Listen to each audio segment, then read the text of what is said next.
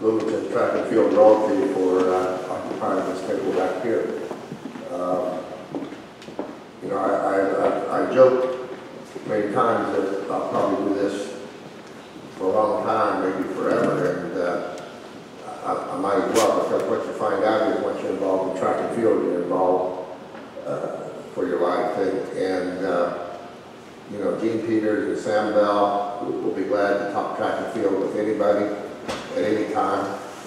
Uh, Phil Henson still teaching track and field, officiating track and field, and uh, Marshall Slater above is, is the Indiana Track and Field Hall of Fame, which he continues to work on, and, and uh, these guys all, and and ladies all have had uh, a a great uh, deal to do and, and and have played a big part in the history of Indiana track and field, and, and and we're honored that, that they shared this evening with us. People who are good and accept the responsibility of being great and being champions are that every day.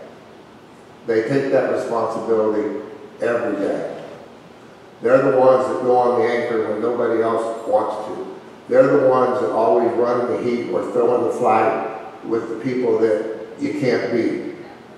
They're the ones who go to practice every day as if there's something that needs to be accomplished and never complain about anything.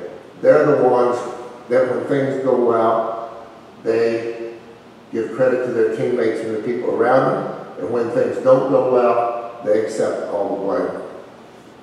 They're the ones that will take this program and move it forward. This year, we have a number of those individuals who every day, even when they're bad, they're good. Because they've accepted the responsibility of being that person for this program, for their coaches, and for their teammates, and I appreciate them very much. And there's another group, there's another group of five or six or seven young ones that are starting to find the ability and understand what it means to be that person. And I know that they're going to go forward and become a great one for the future. And I appreciate very, very much how hard some of you have worked to become that person.